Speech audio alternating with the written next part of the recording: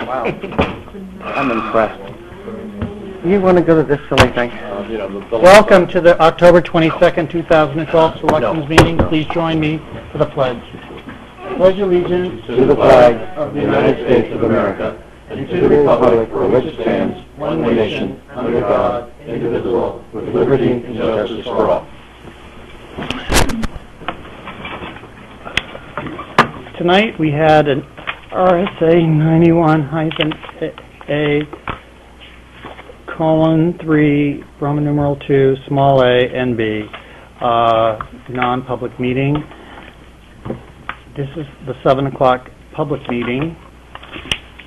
And we're going to have the first uh, public hearing, RSA 31 colon 95 hyphen B. First, the hearing is for the New Hampshire Safety Grant Hampton Operational Safe Commute Patrols Program. If I could, sir. Yes. Um, I've talked to the police chief. Uh, These monies are coming out of the highway safety funds. These are federal monies coming through. They're monies to operate uh, special patrols.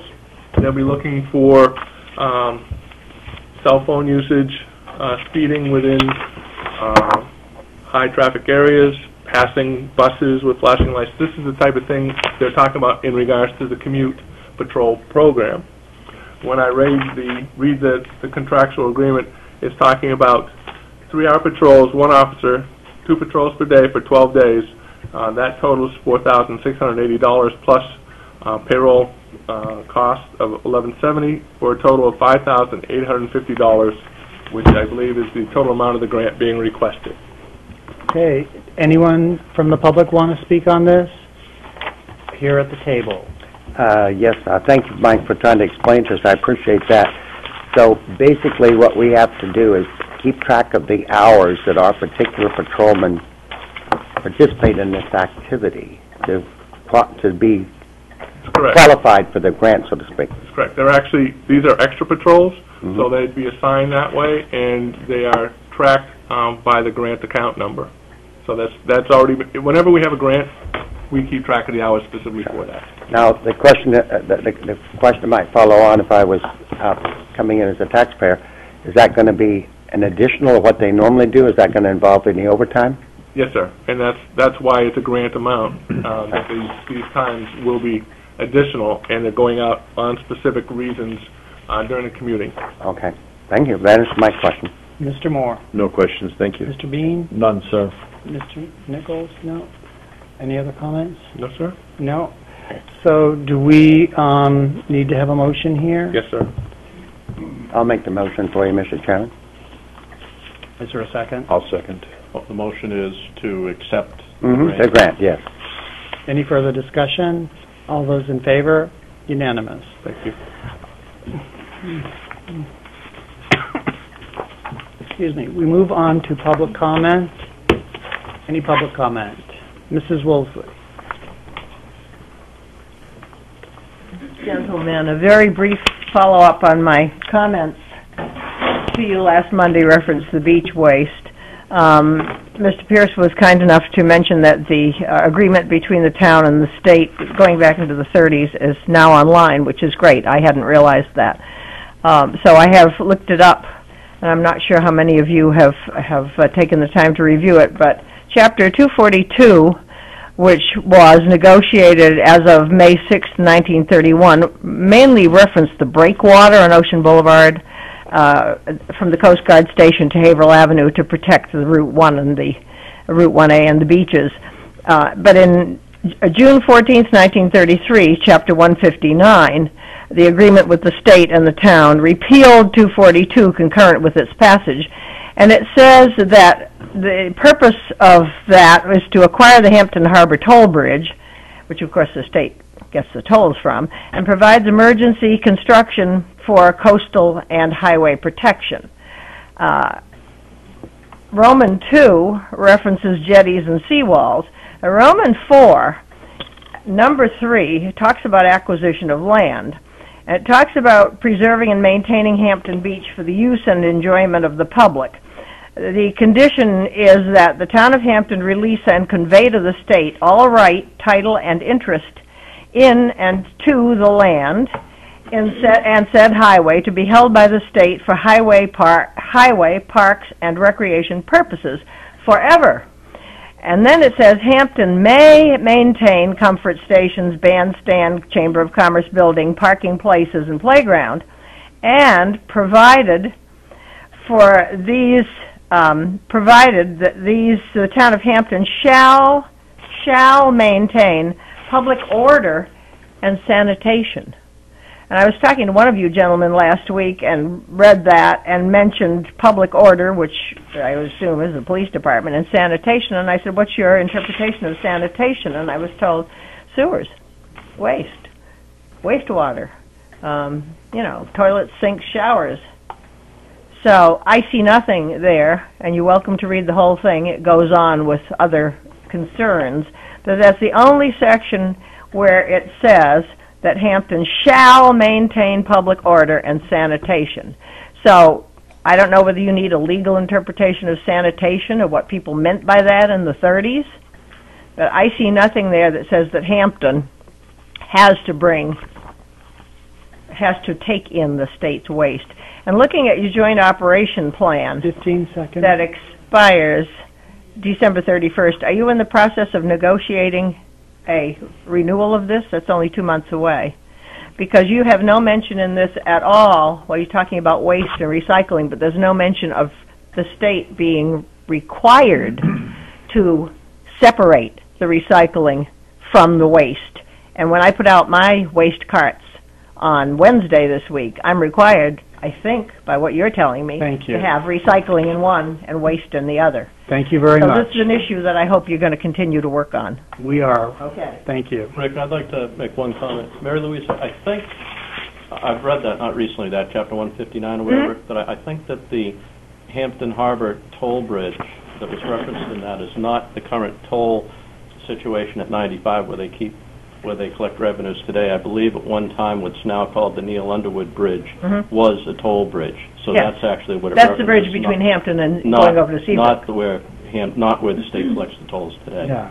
No, but it was, al- It the was a intent dime was for to, years. Mm. the Yeah. intent was, they called that the Hampton Toll Yep. Bridge, but Yep. whatever. Okay. Thank you very much. Thank you. Any other public comment? Tonight, we have Michael Pierce on the left-hand side here, Ben Moore, Bill Bean, Richard Nichols, Michael Swotzer, myself, Rick Griffin. Announcements and community calendar, Mr. Bean. None, sir. Nope, nothing. Actually, I do have a message from the police chief. Uh, people will be seeing a Hampton uh, police car in black and white. Uh, Saw that. Yeah.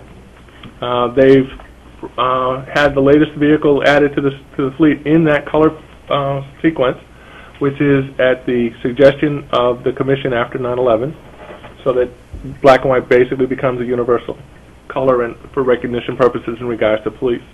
Um, the police chief is asking the people to review it, and if they think it's great, uh, he is planning on hopefully phasing in that type of color scheme over the next few years during the replacement cycle. Mr. Pierce. Uh, yes, uh, in relation to the announcement community calendar, I would like to thank um, the Chamber of Commerce, uh, the library, and the town of Hampton, and various other people who've contributed a lot towards this effort of getting these 12 PCs ready to go, and we're ready to take six of those down for the first round this week. So I want to thank everybody who really contributed a lot to that. We got a lot of good PCs that were salvageable. I mean, had seen better days, but we were able to clean them up, and uh, they run reasonably well, and I think it'll serve a real good purpose. So I want to thank everybody who contributed for the mice and the black screens, the PCs, and the whole bit. Even some of the, the members of our board have contributed that issue. So I want to thank everybody, and I really mean that. Thank you. Mr. Moore. I believe this Saturday, the 27th, is Spirit Night. And there's activities at Tuck Field at 4 o'clock. I believe that's a parade of kids in costume. And then there's a, an- a Spirit Night activity at Morelli Square that starts at 6. More information is best obtained from the Parks and Recs Department. And I'm, I don't really have the right time. Um, I tried to find it out today before I ca- came here. Um, but if the Chamber of Commerce will know, and people, or people could call the Bec Rouge. But, um, uh, Al Fleury and McKinnon's Market have purchased 200 pumpkins, um, and donated them to the center school, and they're going to carve them, and they're going to be displayed all outside, I, I guess on the deck or something, but they're all going to be lit up, and it's hopefully the beginning of something really big, one more thing that can go on, you know, in the off-season. So there's been a, it's just, they've been talking about it, but they're, I guess they had to work it out at the school and everything. So they'll either know at the center school, or at the chamber, or at the, the Bec Rouge. First, Would you like a drink of water, Mr. No, thank you. First on for appointments is uh, Chief Silver, Fire Department update. Welcome. Good evening, gentlemen. Good evening. My keys, I left them up there.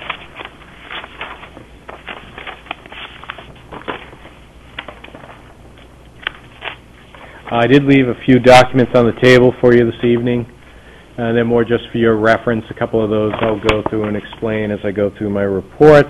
Uh, Beginning with activity, um, I was here last in July, so it's only been approximately two complete months since my last visit. Uh, We've had five significant fires in the last week. Uh, One was at 82 Tide Mill Road at the business known as Brazonics. Uh, We had one at 389 Ocean Boulevard. It was a private residence and a kitchen. One at 80 North Shore Road, which was a barn. Unfortunately, it was a historic barn that was totally lost. Mm. Uh, one at 571 Winnacunnet Road, the Sandpiper Bay condominiums, and the most recent one about a week ago at 816 Lafayette Road, O'Leary's Grill. So far, year-to-date, we've had a total of 19 residential fires, 29 total fires within structures, and an additional 23 fires within vehicles or areas adjacent to buildings. Uh, Part of the document that you have are a uh, year-to-date statistical report. There's one for EMS, there's one for fire. They are all stapled together, and uh, just to save some paper, they're done as two-sided copies, but they're there for your reference. The breakdown by district, approximately 50% of our calls year-to-date, totaling 744, have occurred in the Beach District. These relate just to the fire incident responses. 42%, or a total of 626, in District 2. That does not include those areas west of 95 or south of the interchange. Those are considered part of the rural district. Uh, In that district, 117 incident responses, total of 7.9%. Our total fire responses are down from 1664 in 2011 to 1,487 in 2012. Those are exclusive of EMS responses. It represents about a 10.6% decrease. Um, Nothing in particular points out any trend. Each of the months have been consecutively lower over the last um, nine-month period. The way we usually see our statistics trend as far as our response, it goes in somewhat of a sawtooth pattern. It's about a three-year escalating trend, and then in the fourth year it drops down a little bit, and then it begins to escalate over about a three-year period, and then it drops down. If I look back over 20 years, it just historically trends in that type of a pattern. Total dollar loss from all fires in 2011 was 76,000, while this year, I'm sorry, that's 2012. Correction, that was the 2011. This year to date, total fire loss is approximately 161,000, a little over twice that in 2011. However, the last couple of fires that um, I mentioned haven't been included in the statistic because the investigation and reports haven't been finalized. False alarms in 2012 are right on track with 2011 at 165. Um, The fire district breakdown, it's almost an even split and decrease, about a 10.5% decrease in the beach district, about a 13% decrease in the town district. And because the rural district is a significantly smaller area, it has fewer responses, it was only about a 2.5% change. Mutual aid received has increased slightly from 2011.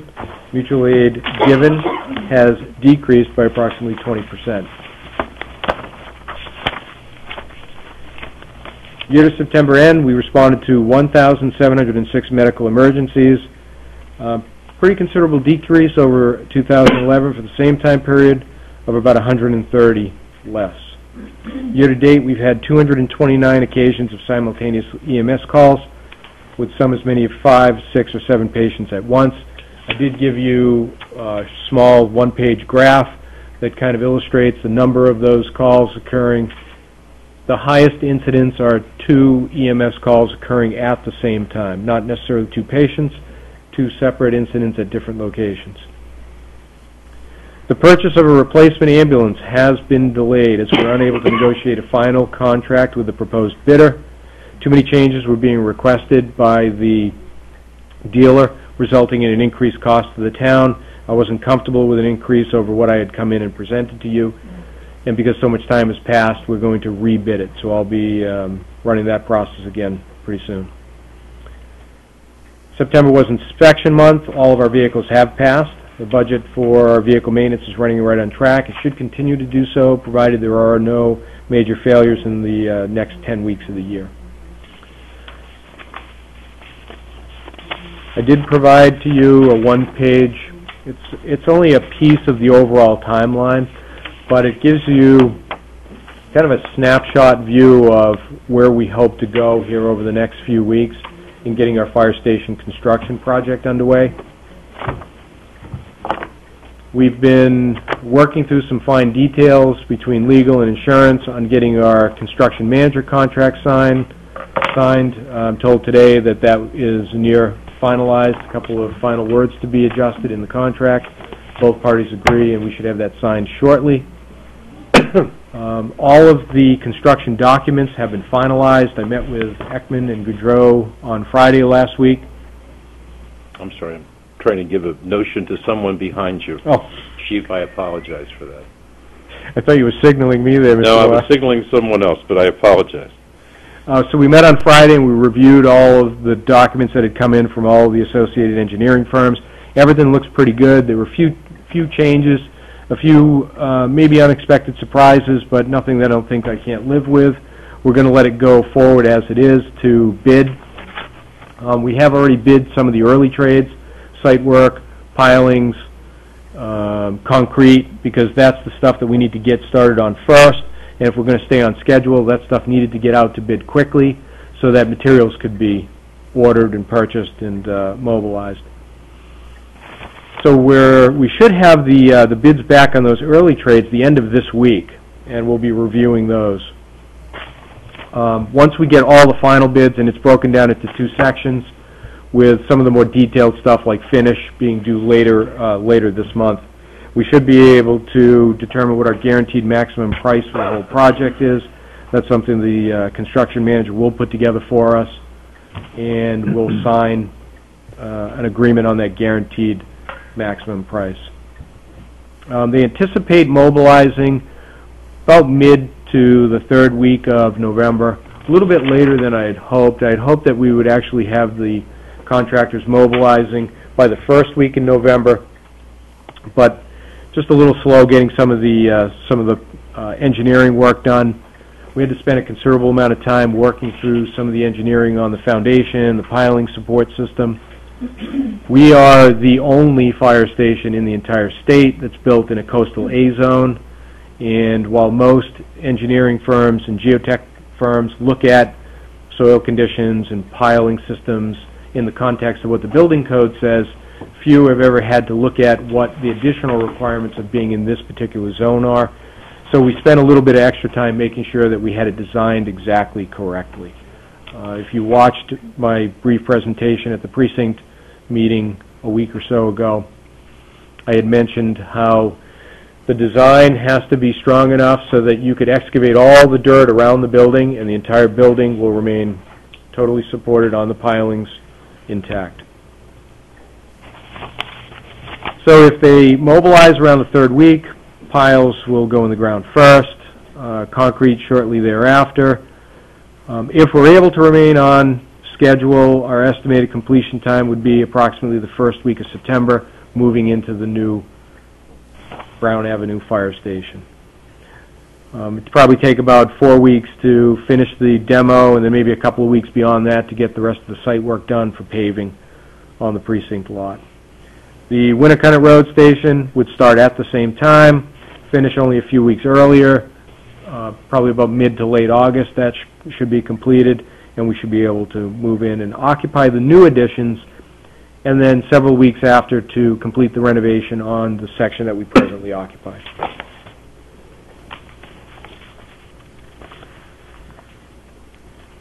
Now that all of our positions are filled with the addition of the uh, firefighters that we recently hired, our budget is beginning to stabilize.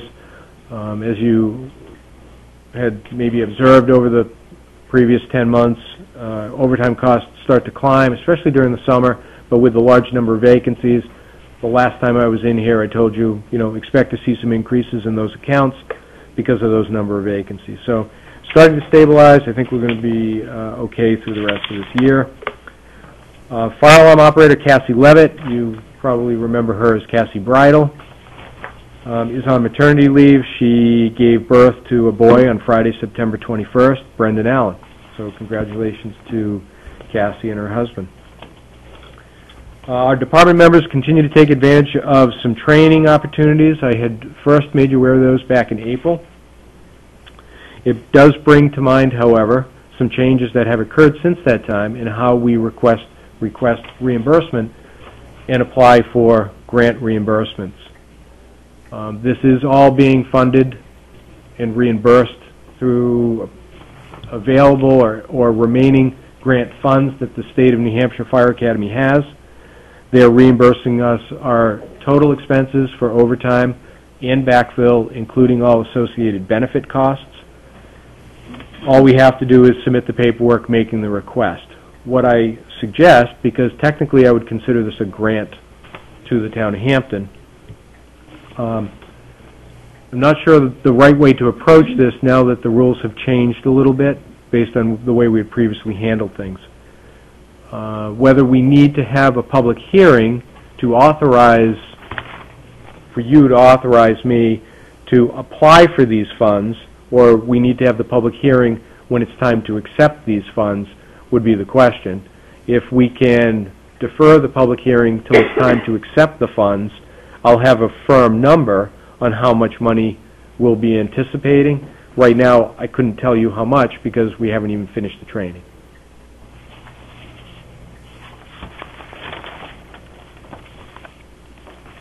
Uh, We did complete the update on our emergency operations plan. It's in final review. Once it's filed with the state, copies will be available for your review.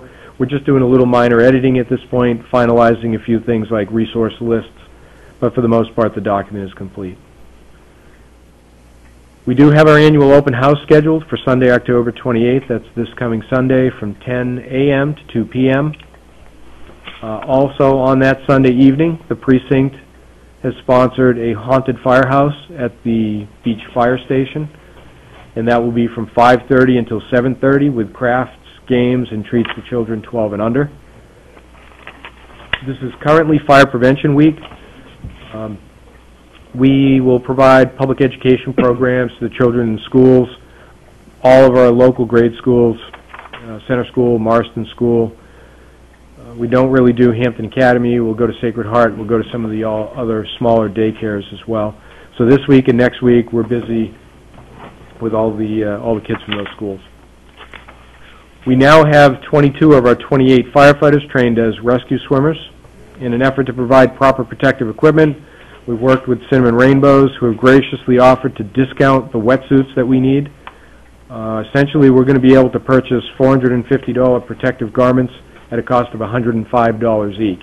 I'm making you aware, not that we're accepting a donation, but that he is discounting the cost to us, uh, so that if, um, if you're made aware of it at the future, you understand exactly how that, that uh, came to be. As a result of the fire aboard the USS Miami at the Portsmouth Naval Shipyard, we're going to be provided with an opportunity to receive an orientation to the arrangement and layout of these vessels. Please be assured that in no way do I intend, or does this make the Hampton Fire Department qualified to operate or fight fire on board these types of vessels. Um, It's not my intention to place them in a position where they would operate, where they lack training or proper equipment.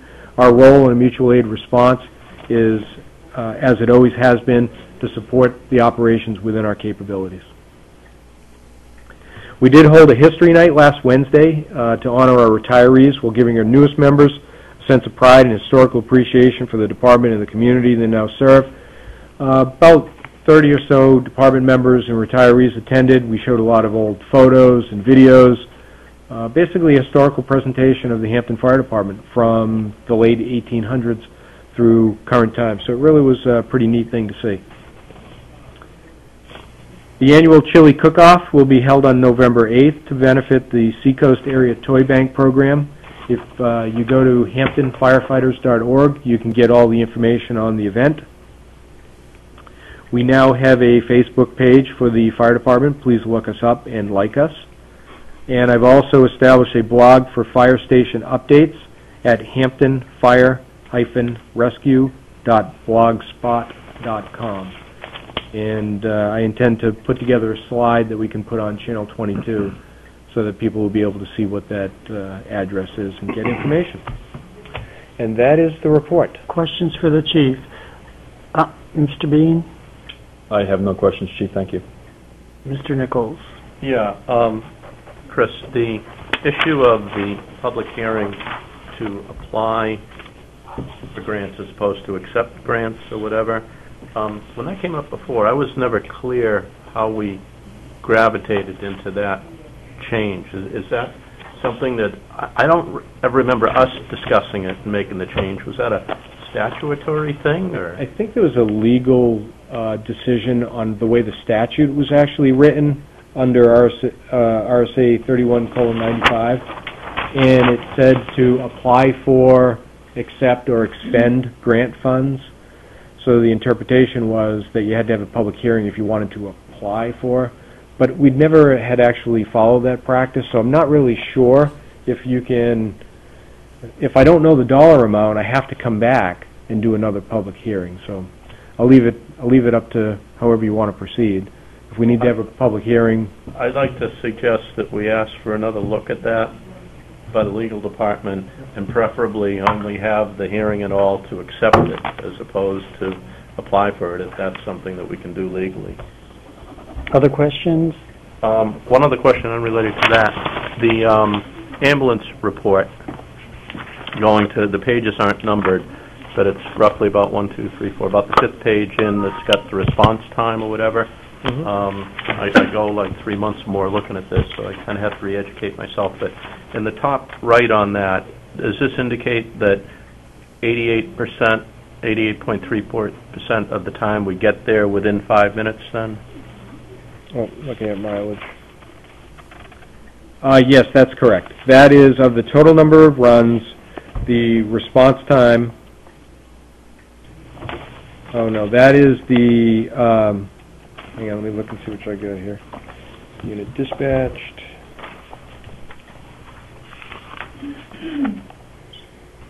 Yes, that is correct. From the time the unit goes en route from the fire station to the time they arrive at the scene, it, its response times are five minutes or less, 88% of the time, yes. Okay.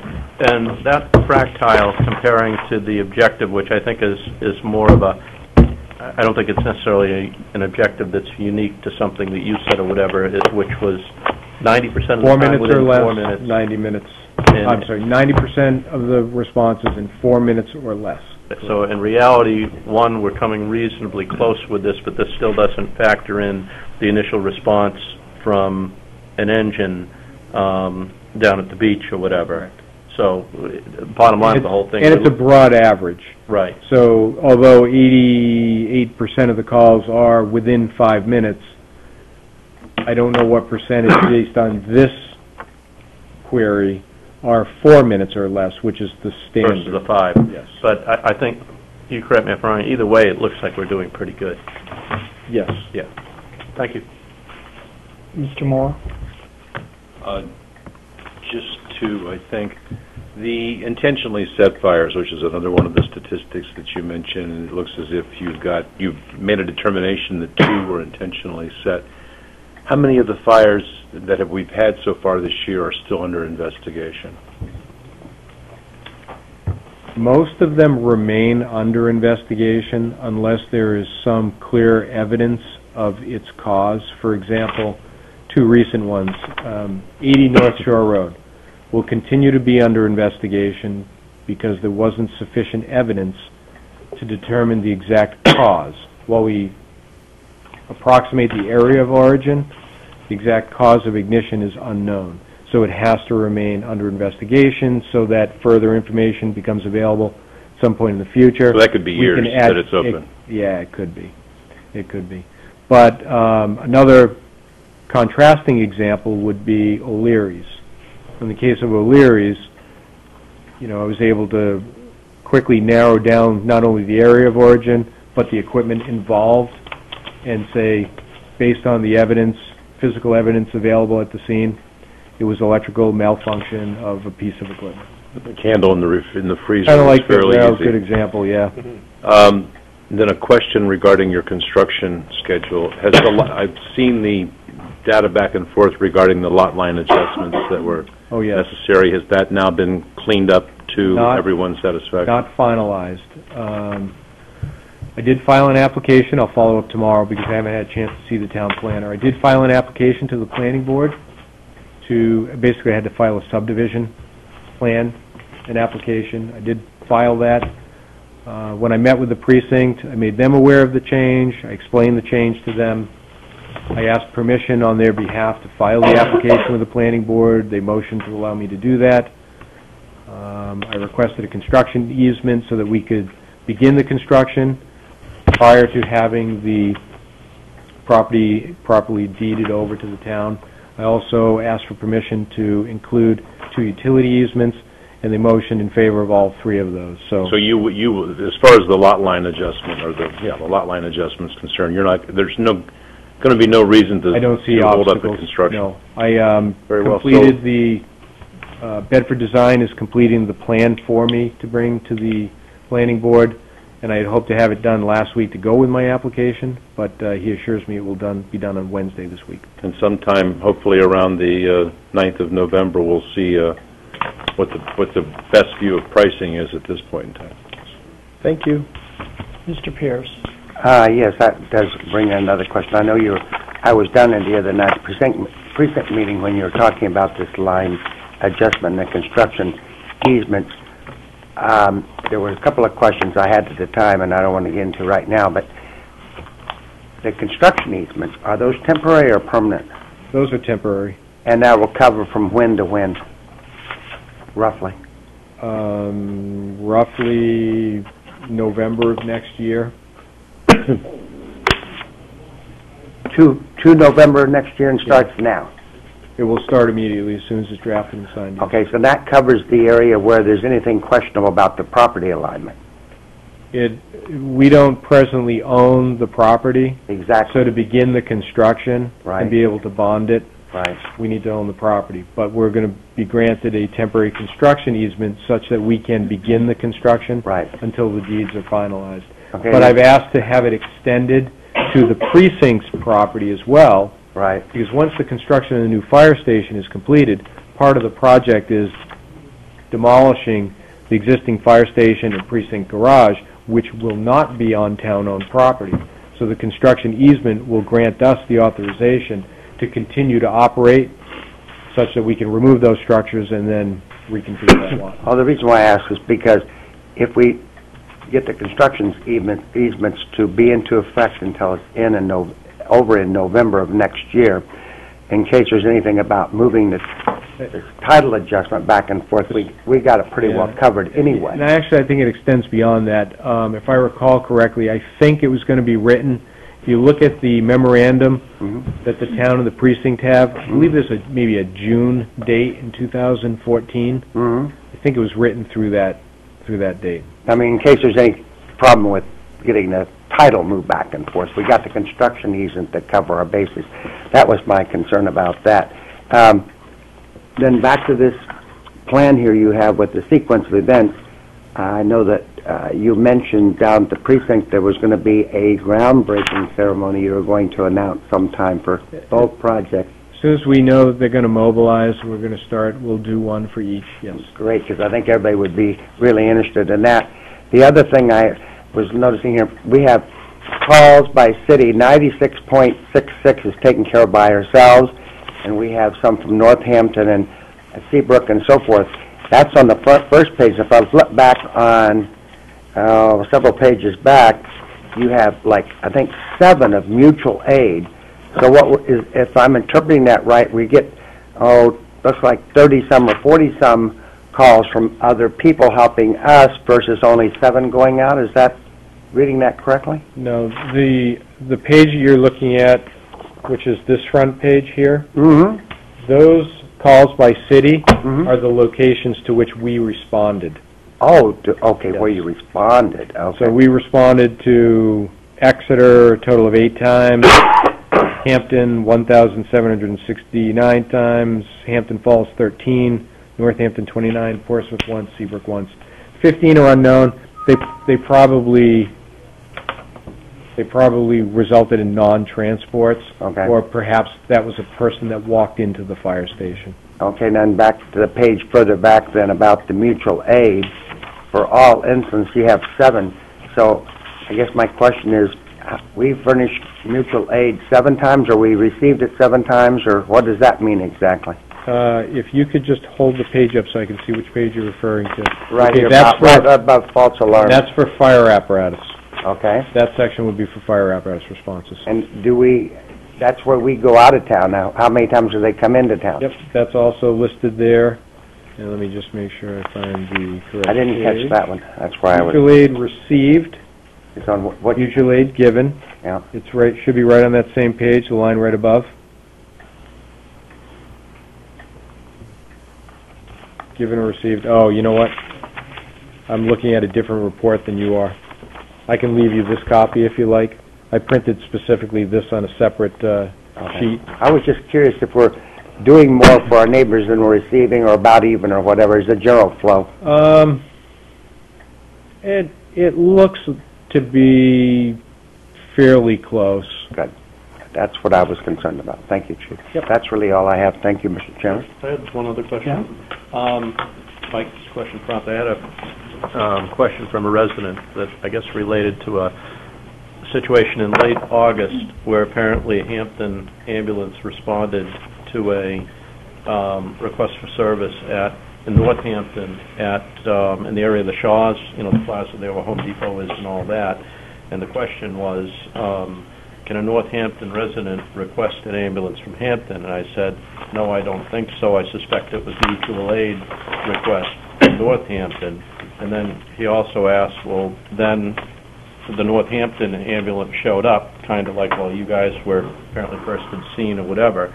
And then the transport was, was made by Hampton, and I said, I suspect because they started the whole thing, they finished it. Anything that I... That's, that's pretty accurate. That's Okay. how it frequently will occur. Okay. You know, oftentimes, uh, we'll respond mutual aid, obviously because that community does not have an ambulance available at that time. Yep. Doesn't mean that it can't become available, Yep. or there can't be multiple patients there.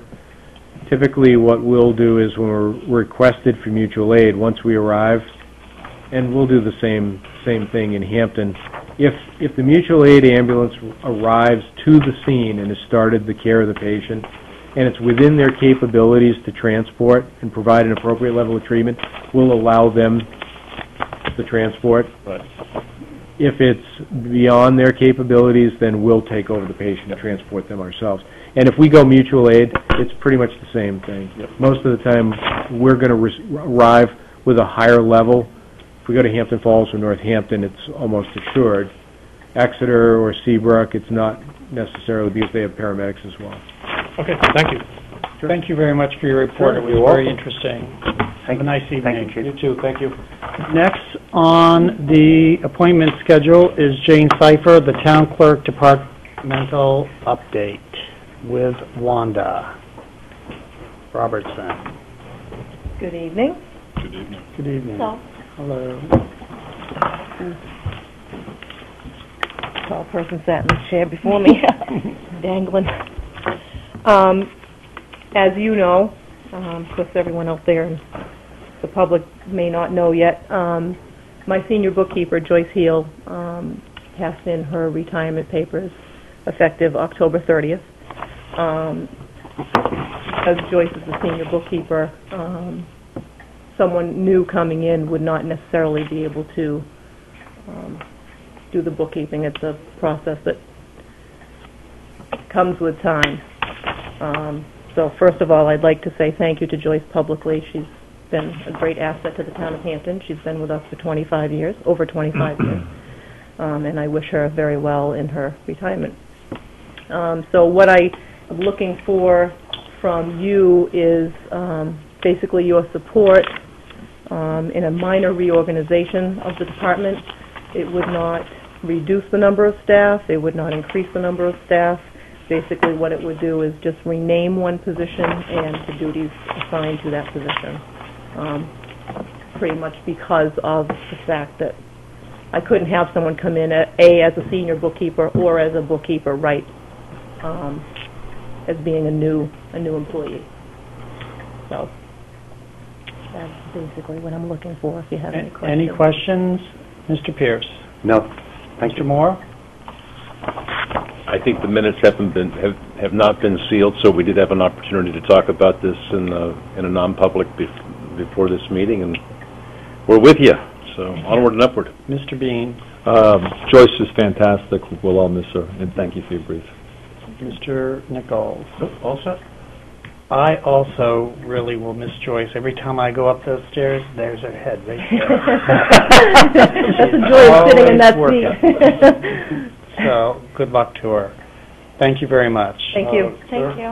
One of, Rita? one of the things that we were dealing with was a potential addendum to the uh, Teamsters contract because of the renaming of the position, uh, and Wanda has prepared um, an addendum to the Teamsters, and this was also discussed at the meeting, uh, and I think uh, a motion to approve and put forward to the, to the union, would that be uh, applicable?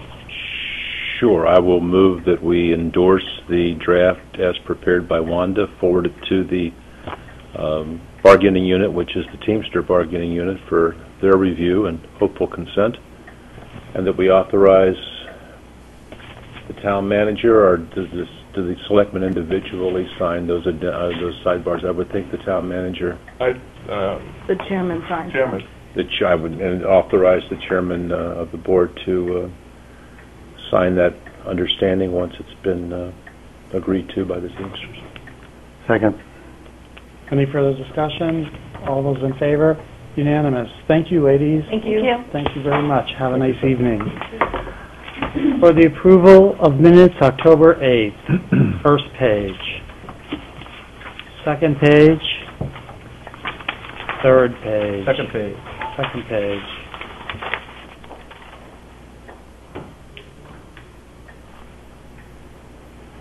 I'd like to read a sentence which is essentially what I said, um, clarifies what I said in relation to the trash and recycling pickup operation at the top of the page. Trash and recycling pickup operation needs a thorough evaluation by management based on a couple of assumptions and adjustments I made to the finance director's analysis that is costing $120,000 more a year than the 2010 benchmark bids.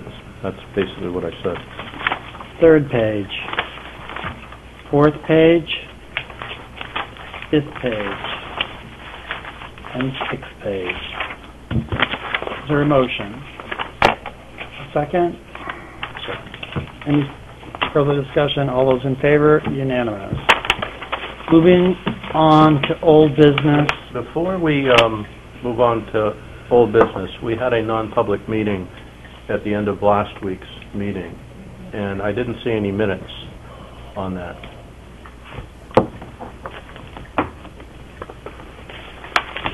I don't believe we sealed those minutes. So I guess the fact that if you guys remember it the same way that we did not seal them, I can remind you what the subject of the meeting That might be a good idea in my It case. it was, it was the very quick meeting associated with approving an individual's um, ability to accept the the wage increase in health Oh, insurance of course. concessions. Yes, understood.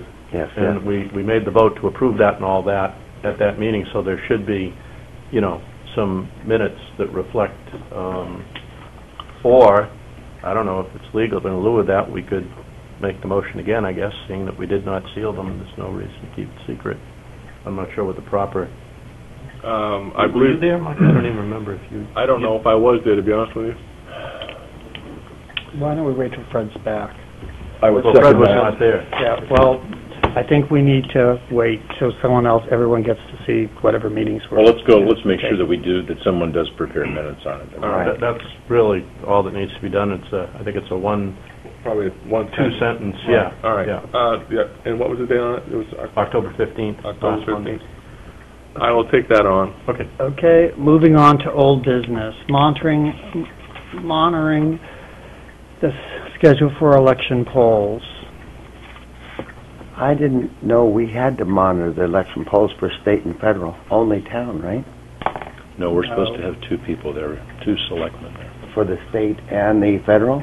It was at the primary, remember? Oh, that's correct. You're Actually, right. I- That's as it's- per the Secretary of I think State. it's the Yes, opposite you're right. you said, we don't have to monitor the town Right. elections, but we do if somebody, and it lists some positions like the governor, the Senate, you know, statewide offices. It's so- going to be, it's going to be extremely busy. Presidentials in general, general, usually are.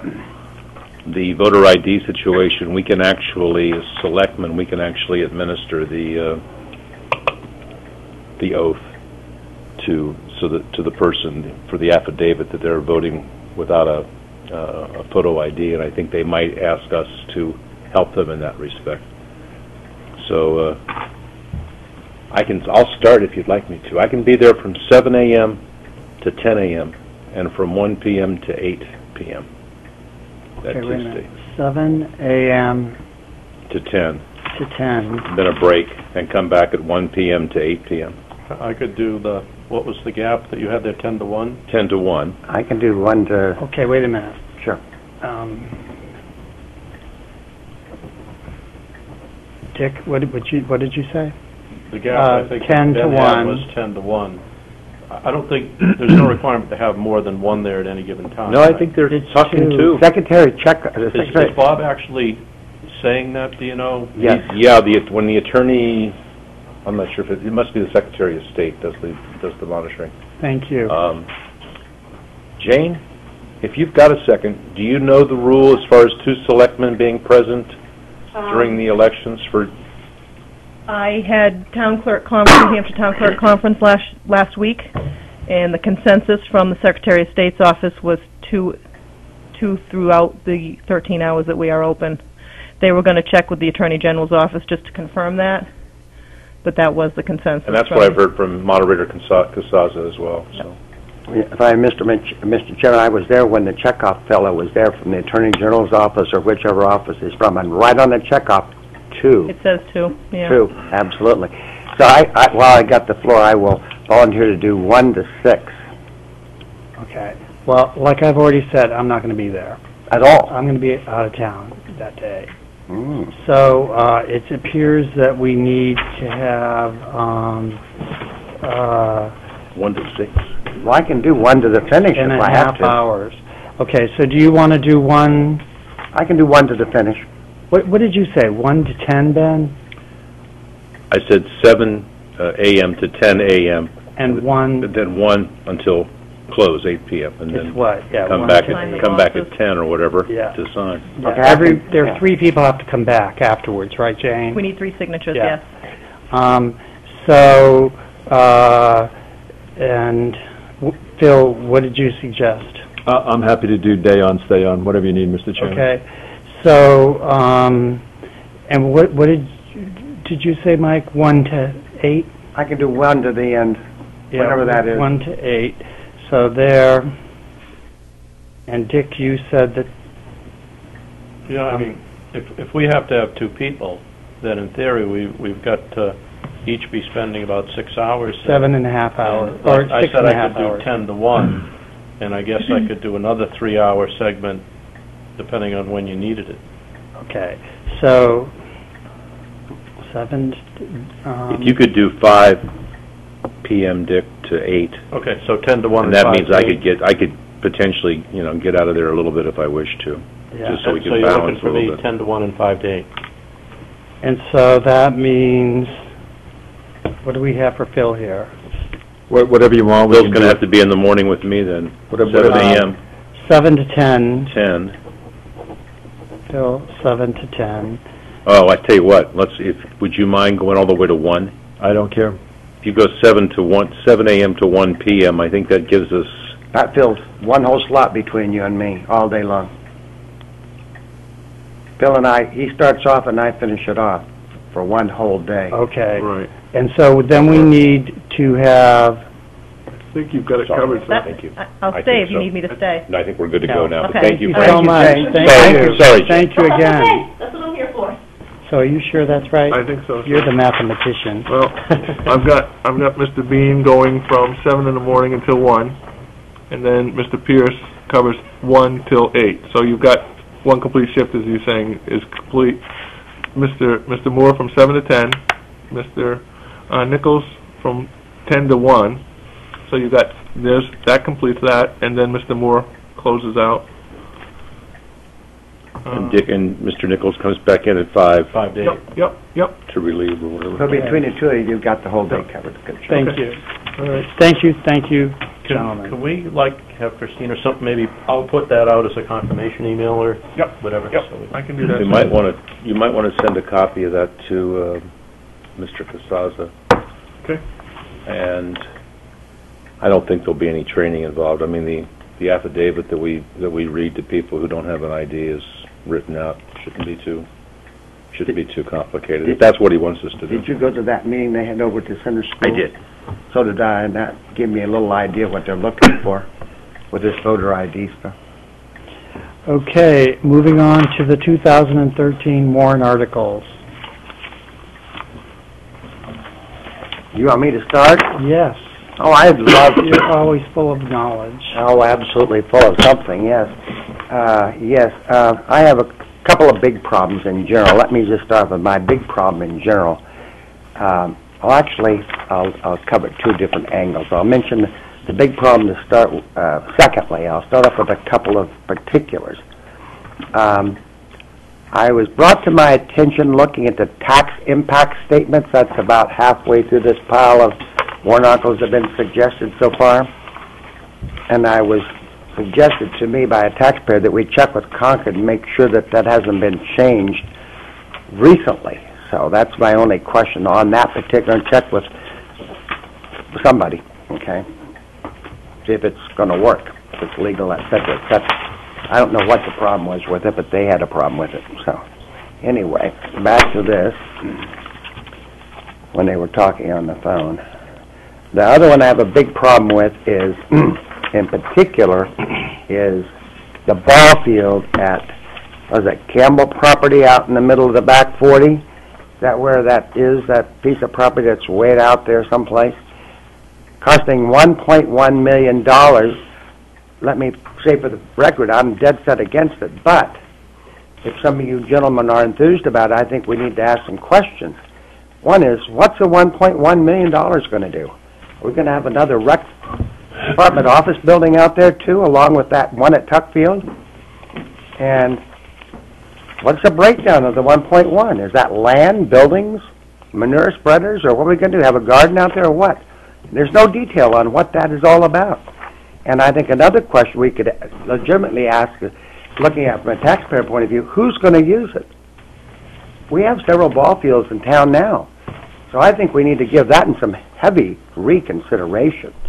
I would suggest to you gentlemen that that's a chunk of money, and in view of uh, the fact that we have other issues that are pressing, uh, I think that that's something that needs to be looked at very carefully because uh, that's a, that's a chunk of money, and I think we could use 1.1 to, if nothing else, first thing that comes to mind is maybe apply some of that thought to extra road, because that's going to cost us a big chunk of money. And, um, let's see, what else did I Okay, have? let's go stick with that one for a minute. Okay, you want to stick with Mr. that? Moore? Yes, the uh, tax impact statement, uh, j- just to address that, I had gotten a copy from someone Mhm. of House Bill 1170, which was passed in the 2012 session, Mhm. uh, signed and effective uh, May the 21st, 2012. So this is the, apparently the law that we are uh, trying to react to, to get the tax impact statements on. Right. I doubt that there's anything newer than that particular piece of legislation. So you think that the warrant article as it is is going to be okay? Well, it's all going to go to the town attorney for final review, but I would think we're probably pretty close to where we should be. That was the issue that was brought to me. Thank you, Ben. What, what, which one, uh, RSA was that, you recall? Uh, The House bill is 1170. It modifies, It's in the, it's in the warrant article, which I believe is reading Chapter 6 of Session Laws of Chapter 2012. six, yeah. RSA Mhm. 325VA. Okay, RSA 30 32 point, uh, colon 5 is what it's modifying, okay. adding a paragraph uh, V dash small b. Um, As to the ball fields, hmm Um, it's probably something in the order of three cents a thousand if we bond it and, um, over 20 years. The ball fields that are available to the town Parks and Recs Department are those at Tuckfield and Eaton. There is a soccer field and also used as flag football that's available off of Hardod Way on the way to the transfer station. And as far as I know, those are the only ones that uh, the Parks and Recs Department control. They do not control the ones at the high school. They do not control any of the ones at um, any of the schools. I'm not clear about whether there's a playing field behind Center School that's actually on school property or on town property, but I think that we, that the Parks and Rec people do use those. They're very busy. I know that. Um, so this gives an opportunity for, um, the land is already owned by the town. The detail that was provided to us when Diana made that presentation, I did not bring that with me. I'm sure it's the same information that's gone to the CIP committee. I, And if, I have then I'll that. defer, then I'll defer to, I have that. to the, to the better information. But I am in, I am in favor of that one, so that's, I'll pass it on down the Okay. road then. Mr. Nichols?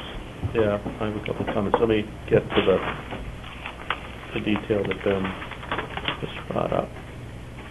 The plan, I think this is what you look for. The plan will include one soccer field, one softball field with fence, one practice field, parking and access road, walkways, concession stand storage, and a leach field. So in terms of, of the, the playing fields, there's a, a soccer field, a softball field, and a practice field. Um, I would also comment that, um, I think we've got enough, um, going on with rec and the CIP between the Campbell, um, ball fields, the Tuck office space, and the, um, Kids Kingdom, hundred thousand dollars, which I'm, I'm not clear where that stands. I think it would be worthwhile getting Diana in here next week to go over those three projects, similar to what we did with Keith on the DPW. Um, what I would be interested in, similar to what Mike said, is why it is it, why is it a million versus a half a million or three quarters of a million or 1.2 million or whatever? Where did that estimate come from? And the other thing that I'd like to understand, and I, I, I think that it would benefit the public who's got to vote on this if we go forward with it, is is is basically who's using the fields today? I mean, is it 80% youth groups, 20% adult leagues, so on and so forth? Do we have a whole queue of, of the existing leagues that can't do what they'd like to do because we don't have the fields? Or if we build these additional ones, are other organizations going to come in that, that can't offer their capabilities? You know, in other words, an expansion. So I think by Diana coming in next meeting, whether it's the Campbell thing, the um, Kids Kingdom replacement, or, for example, on the, on the Tuck Field stuff, one thing that wasn't clear is, is that 65,000, is that purely design work, and there's, it's anticipated that there's going to be some number to follow in subsequent years? Or is that a combination of design where, design work, implementation, and the whole gambit? So that, that would be my suggestion on you that. want to invite Di- Diana in? Do you have any comments? that- Uh, yeah, just real quickly, um, and, and along those lines is, uh, and, and not to step on anyone's traffic that's, uh, promoting recreation in the town of Hampton, um, but just an alternative, and, and perhaps recreation is changing from, um, what may oftentimes be empty, uh, ball fields and, and uh, municipal parks is the Eastern Surf magazine, the October edition, just came out with a, a fabulous, uh, article on New Hampshire surfing, and a big part of that is Hampton. And I know you gentlemen live down there, and on the North Beach, it's, uh, those crazy people, they're in the water all winter long, and, and this is a great article, features, um, all the local young men and not so young men, uh, the early days, the changing of the guard, the current crop, great photos. And, uh, these people are out there recreating, and they're doing it in rain, snow, freezing temperatures, and they're not going to ballparks, but that beach is sure full. And uh, it, it's a great article. I would encourage uh, encourage people to get down to their their surf shops and pick it up. But um, perhaps it's changing where we don't spend a million dollars um, on ball, ballparks and, and people are actually recreating with nature. Thank you, sir. You are still in favor of this being a warrant article, though? Yeah, I don't, and, I, and people bring these forward. And in my personal opinion, it's not for me to again to step on traffic for people that are putting these through, and they have their perspective, and I think the voters should should decide. I agree with you. And I will tell you, that is one of the most common um, questions that I get for the last nine years I've been here. When are you going to do something with that land? They would like the school, you know, many people think that schools should be using it, but there seems to be a lot of problems there, too. On the Campbell? uh, Oh, on the- no, oh, no, that's Oakland, not the that's same as Batchelor, the- That's Batchelor. Oh, that one. Ba- uh, not- Yeah, that's right. I keep Batchelor confusing Pond those property two. is, uh, But we have these properties, and, you know, I think it's up to the public to decide what they want to do with them. So we'll have Diana come in and ask what would be on the warrant article. I just Want to thought it- continue? Oh, sure, um, uh, Chairman, thank you. No, I just, I mean, I'm not, ag- I mean, I'm not saying I'm not, I'm going to vote for it, but I think that we owe it to ourselves to find out the details on that. Mhm. 1.1 is nothing to sneeze at, which brings me to point uh, two, if you will. In general, if we have worked so hard keeping the budget almost perfectly flat, we took a little money out of the undesignated balance to make it flat, which I didn't like, but that's okay. Uh, now, we have this small fortune in warrant articles that's going to drive the tax rate up beyond belief. I don't know if anybody here ha- knows exactly how much this, Do you want to discuss any of them individually? no, I'm just talking about in general, this is going to be a huge amount of money, and what, what, does anybody know what, what- I I can, I can... how this will hit the tax I rate? can tell you that after last meeting, I've been keeping the, the forecasting model up to date and sending it to Mike so that he's got it or whatever. What I can tell you is after the last week, the 2013 town portion of the tax rate is looking like $7.63, which is a 7% increase over 2012. Um, 2014, which is as far out as I really looked at closely, um, at 855 did not change. We did not change anything. And the forecast for 2014 would be a 12% increase over 2013. Um, Another thing that crossed my mind when I was doing this is we have not um, plugged anything into the 2014 forecast that represents any wage increases. And the CBAs that were approved this year will expire in March of 2014.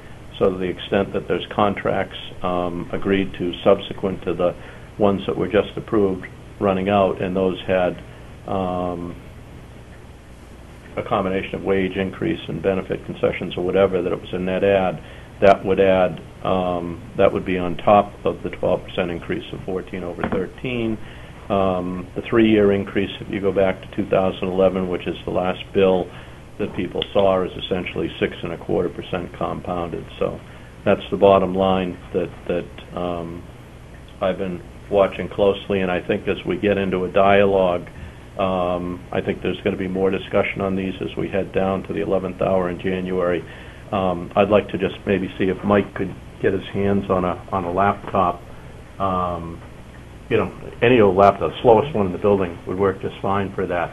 So if we want to plug something in, we could do it and see the impact, because I will tell you, we were, one of the things, we were off on our estimate last week on what it would take in the undesignated fund balance to hit flat, is we overlooked the fact, I think, I don't know if you've looked at this since then, that we also added $150,000 to the overlay in, in addition to that decision that we made on taking the budget flat. So that would add um, on to the, the estimate that we had last week. Does that make sense to you, Mike? or- So I- I'm just suggesting that for, for future meetings, if maybe you get Paul to set you up with, it could Depends be, if I'm here. huh? Depends if I'm here. No, I understand that, I understand. If you're not here, you can't, you know, you can't do it. But I think that might be helpful, because this stuff is, it- it's, you know, you think you got it clear in your head, but it- it's, if we had that... Did you want to discuss any of the warrant articles? Um, yeah, um, I wanted to touch on, on the roads capital reserve. Um, I'm still in favor of going forward with the $300,000, but be- you may recall, um, last week, I, I made a comment that it just looked like with what this stuff was costing, whether it was the 2.7 million for the balance of Exeter Road, or, um, some of the estimates for the sewer work under Winnacunnet, that, that it looks like the whole thing is, is, is beyond our means, and I, I did a, a little bit of quick analysis to try and, um, substantiate that. Um, according to DPW, we plow about 120 miles of roads, and we maintain about 65 miles of sewer pipes. Uh, 50% of the sewer pipes are old clay pipes, and that's based on an email exchange with Keith the end of last week. I assume that most of the roads plowed are town roads, as opposed to the few private roads we do, and that most of the pipes are under the roads. The DPW CIP estimate to do Exeter Road from Route 95 to Lafayette Road, which is about a mile and a half, as you know, is 2.7 million. That's 300,000 in engineering, 1.85 million in sewer and drain-related infrastructure underground, and $550,000 for paving. Given the one and a half miles, that works out to $340 a linear foot. Um, That just boggled my mind when I saw that, that number, that it was that big a number on a, on a linear foot basis. The paving portion, not including the underground infrastructure, is $70 out of that 340. Based on the 2009 Beta Group paving study, paving costs, the one that Keith's estimating at $70 on this particular project, can vary from $44 to $78 a linear foot, depending on the process, mill and overlay versus reclamation, the width of the road, asphalt pricing, and so on. Um, Incidentally, the Beta study recommended mill and overlay for Exeter Road. Extrapolating based on the pre- preceding information, the cost to address the s and D sewer and drain infrastructure townwide would be $46 million, driven by the 32 miles of clay pipes, 50% of the 65 miles, and 35 million for the paving portion, using the midpoint of the um, cost per linear feet, $61.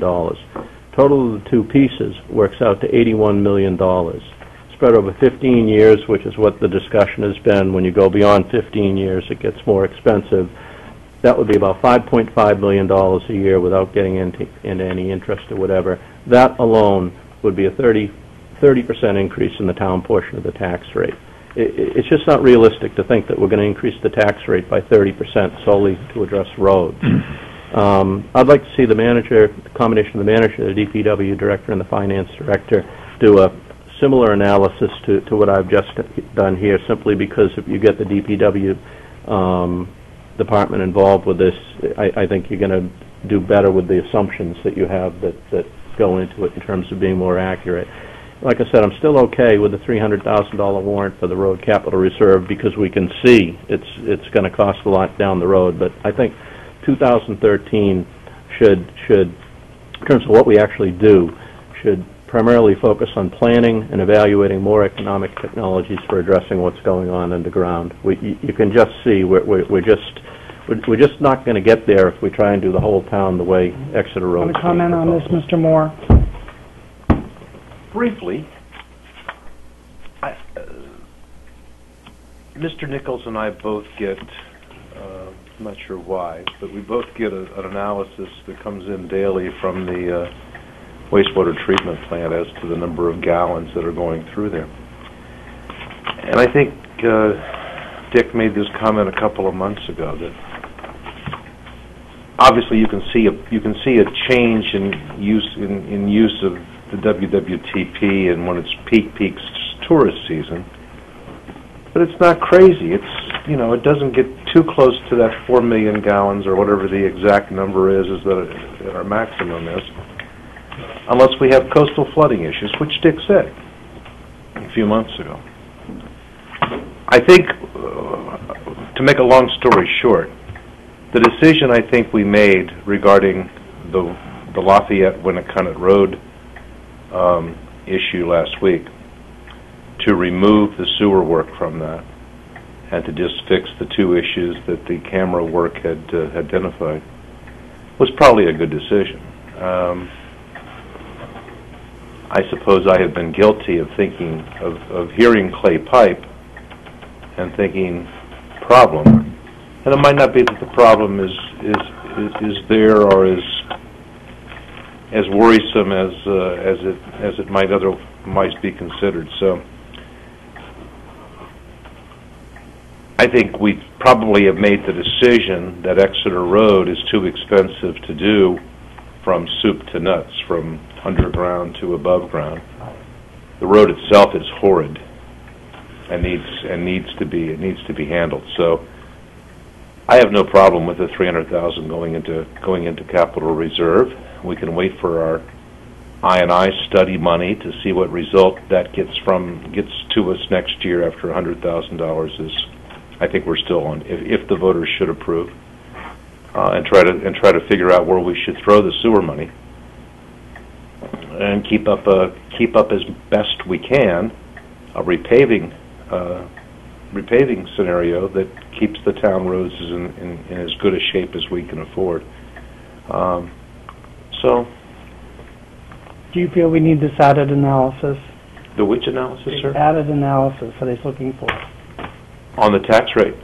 No, on the town manager and the, what was it? I, I think what, what I'm looking for, and I think the analysis will do that, and this is not a lot of work um, to do this, is, is confirmation that we're just not going to be able to, to, to go forward doing 120 miles of roads and, and, and 32 miles of, of clay pipes with the, the assumption that we're going to do it with the traditional approach of digging everything up and replacing them. I, I think that that's the decision that we have to reach, and I think, I think if, once we reach that decision, then it becomes a matter of formulating a strategy. How are we going to deal with that underground infrastructure? For example, it's been raised a, a number of times, Ed McDonald in particular, that there are other technologies out there other than completely digging up the road and the whole bit. I think we have, before we go charging into something as, as big as Exeter Road, I, I think we have to evaluate those technologies. And again, come up with a strategy because my conclusion is, is we, we haven't got a prayer of doing it with the traditional approach. And the last thing we want to do is, is um, go out and do something like Exeter Road or whatever, and then basically run it, run out of the money in terms of the public's desire to continue along that path and not be able to do um, others. So do you feel we have, that, do you, that the, these people at this time need to do this analysis, is what I'm asking? I think we, I don't think we necessarily have to make it something that's completed between now and the budget submission date. Okay? I think and- we have I- I think 2000, I think I we have think it's- 2013, we have some time for, I think it's as Some better simple as planning. taking what I've already done and saying, am I missing something major?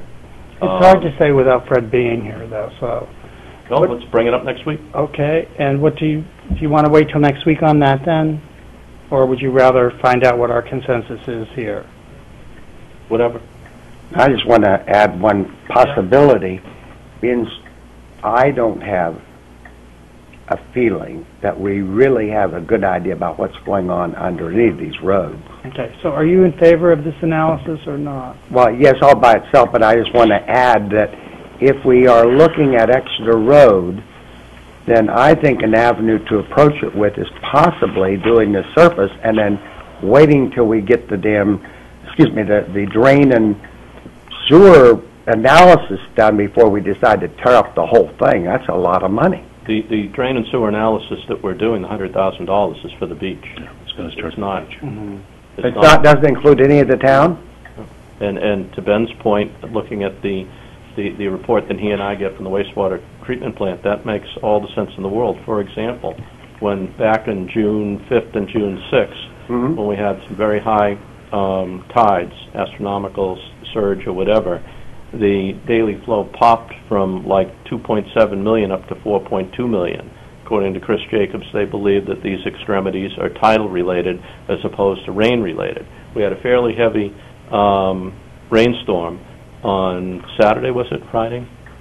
Friday or Saturday, and and and that simply popped from like two to 2.3. I don't know if you've noticed that or uh, whatever. So it, it definitely would would all the information that I've seen in the data, but more importantly, what Chris Jacobs has seen and deduced is that it's the beach and you know the um, tidal related stuff. So the question is, do you want to see this analysis before the budget season? Well, why not? Okay, and Mr. Bean? Uh, Yes, and if I may just add one more thing, and I support everyone's comments uh, at Mhm. this this table tonight. And uh, m- my concern is that it- in that search for the optimal infrastructure, um, that has to be balanced with uh, our employees that work for this town. And there's only so much of a tax dollar, and there's uh, there's no money that will come perennially from the state or the federal government. They're they're flatlined. So I want to be very careful how ambitious we are in, in communicating with the transparency of these studies, so we can we can take that into balance not only for taxpayers but for employees, because again, you can't uh, you can't uh, recall infrastructure that you've spent a lot of money on, and employees will uh, will suffer for that in addition to taxpayers. Thank you, sir. Okay, so we have a consensus to have, uh, what he suggested. I'll give this to you, and I'm quite happy. This can simply, if you want me to participate, fine. I think it's just a matter of, are- are are there, you'll, you can look at it from the standpoint of logical flaws or whatever, but are there assumptions in here that are just plain incorrect? For example, one of my assumptions is that the 50% of the clay pipes are all under the road. It may not be, uh, whatever, so. Well, why don't you just give that to him, and then Fred can deal with it and how he chooses it to be. Um, Any other questions about that particular warrant article? No. Dick, did you have any more that you wanted to? Um, yeah, one other one. The, uh, the trash truck warrant article, which we essentially, um, put on hold or whatever last week. Um, I'm not sure that, that that's the right thing to do, and, and let me clarify that. Uh, Depending on whether or not we, we, we plan to continue on indefinitely with what we're doing today, which is essentially in the summer anyway, um, four rear loaders and three sidearm loaders. Um, on one level, we, we don't want to put ourselves in a position of throwing money into, into an old truck that doesn't make sense, or worse, into a position of, of not having a, you know, a, a vehicle and affecting the, the, the level of service.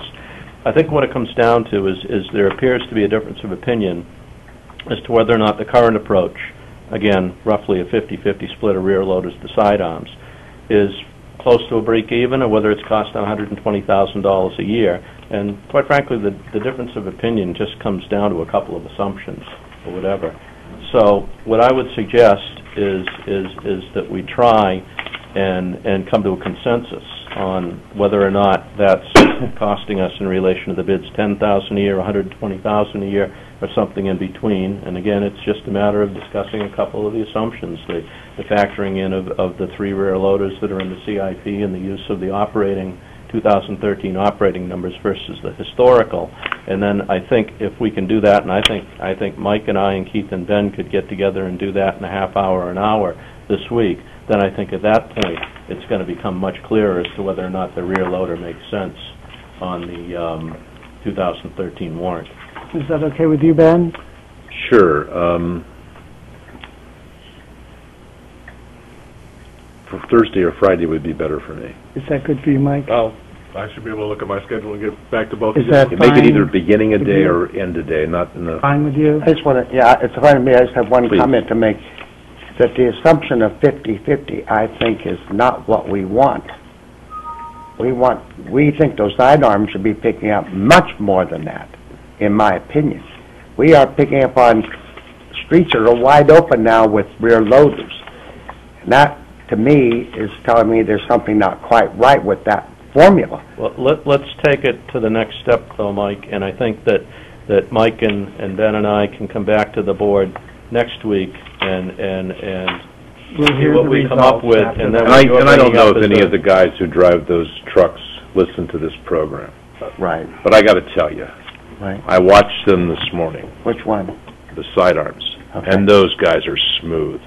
I mean, they, they are coming in there, they're, they're getting that arm Getting out better there. all the time. Oh, they're They- They fantastic. move by And they as took fast. that big truck, and because it's now not high beach season, they're backing it down the roads that are behind my house, that, the ones that they cover with a Really? rear packer, Cole?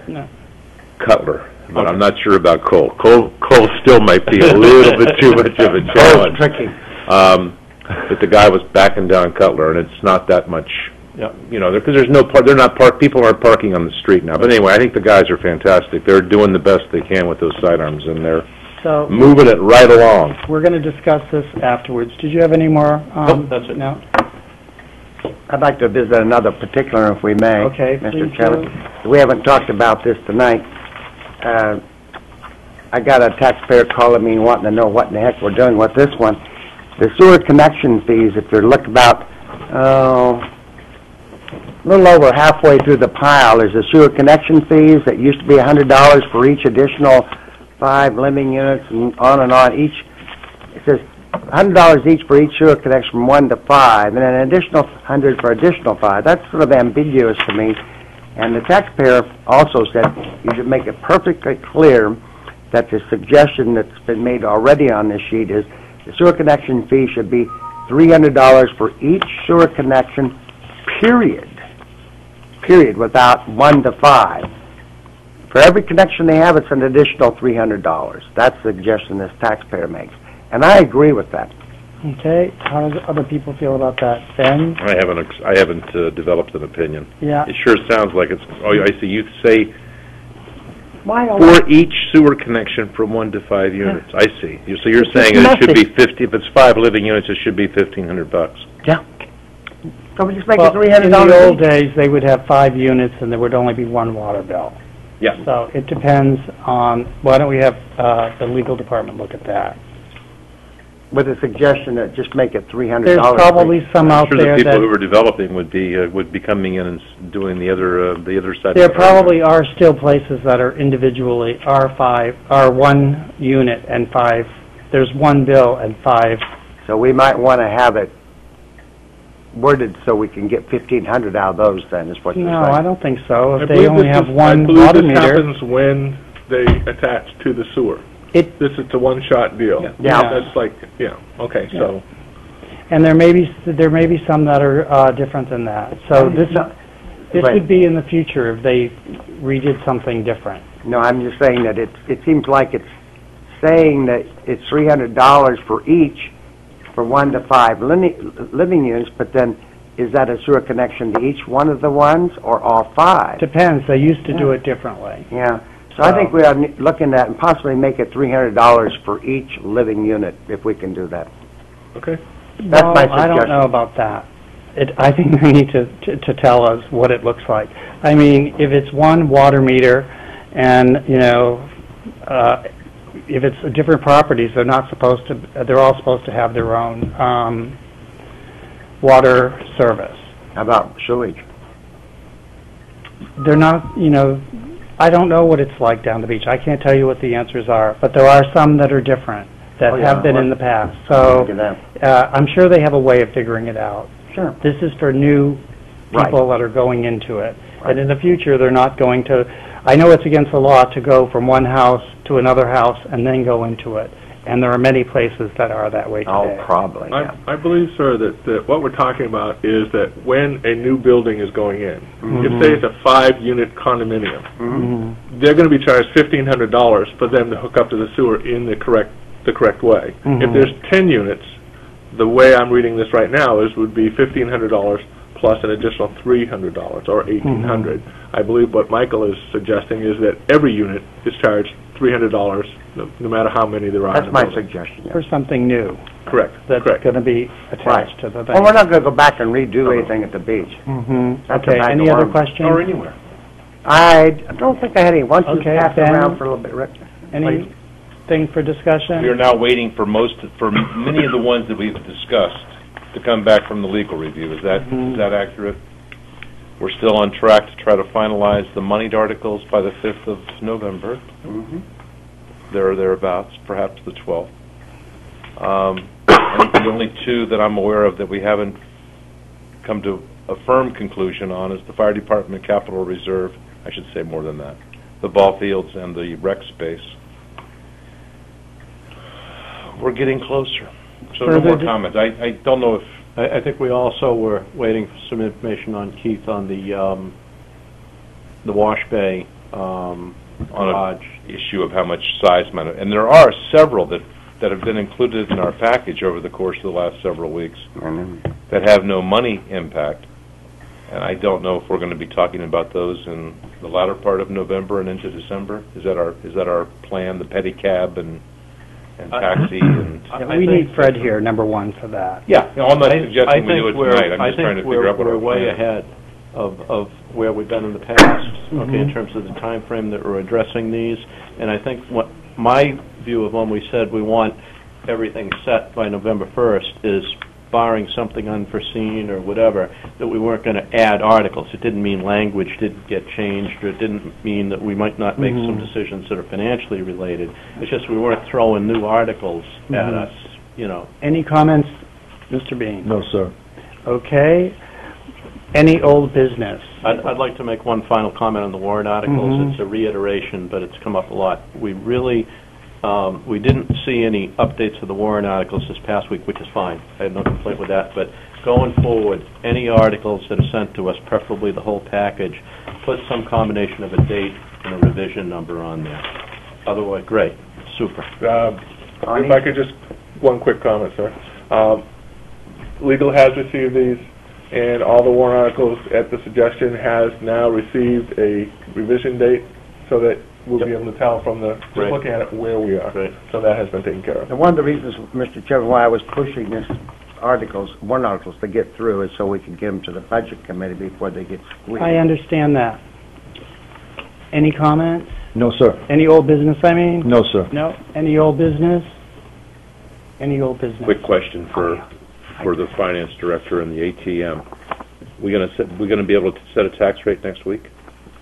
I have not looked at the newest Q. The last I knew, we were still missing one uh, form from the SAU 90, and it was being worked on.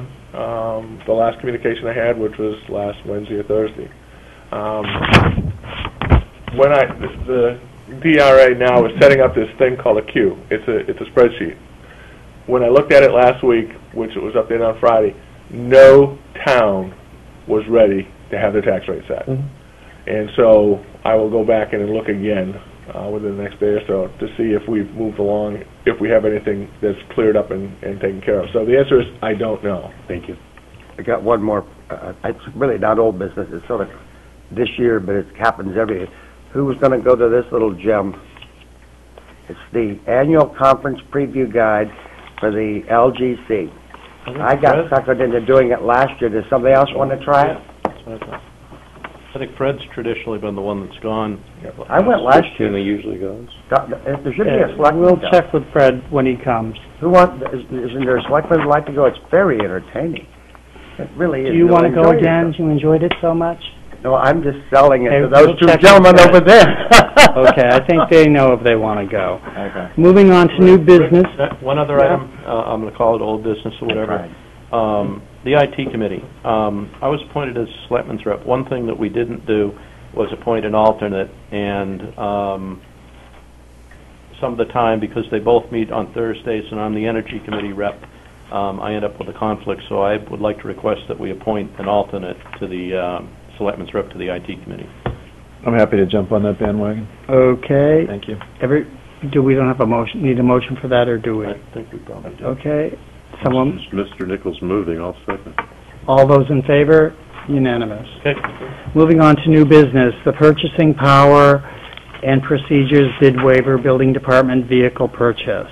Yes, um, I've been working with Kevin Schultz in the building department, and I believe I've sent you at least one of the, um, bid packages that we received, which was from Quirk for uh, a new um, Chevy Colorado four-wheel drive extended cab LT. Um, That bid came in including uh, the trade-in at exactly $20,000. Um, The truck was last known to be located in, on the Cape.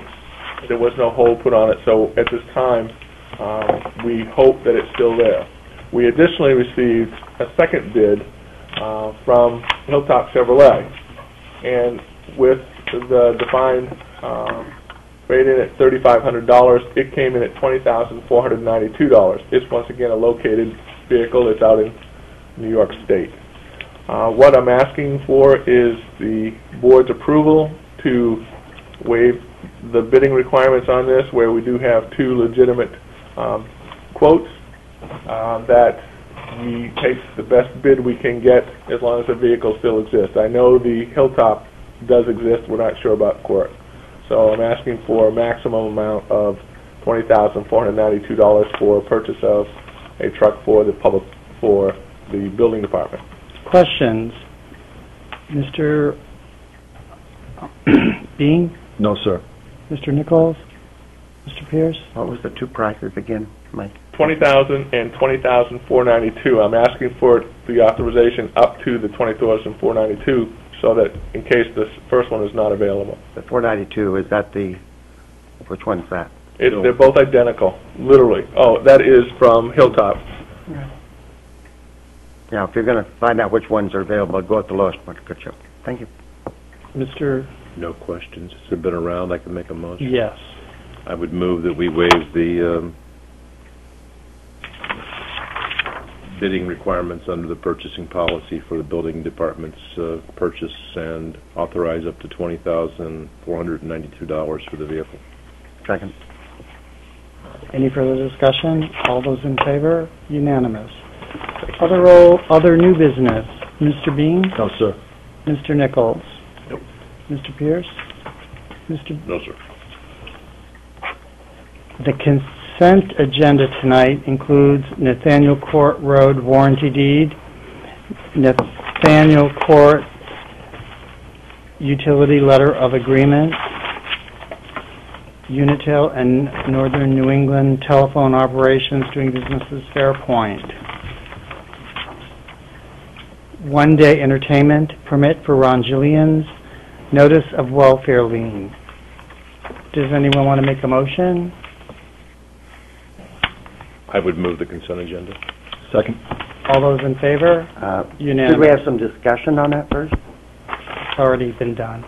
What? We just voted on it. You didn't ask for any discussion, Mr. Chairman. Did you, you didn't voice any? I did, as soon as you guys hel- started to hold up your hands, I said, is there any discussion? May may I rise to a point of order?